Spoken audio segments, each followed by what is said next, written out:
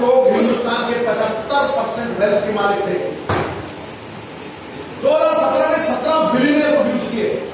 सत्रह बिलियन और अड़सठ परसेंट लोग जो मिडिल क्लास और लो क्लास है। जिसे आप कहते हो कि गरीब है। हाई क्लास तो हमारी बोली भाई। वो एक परसेंट से कम कमाया।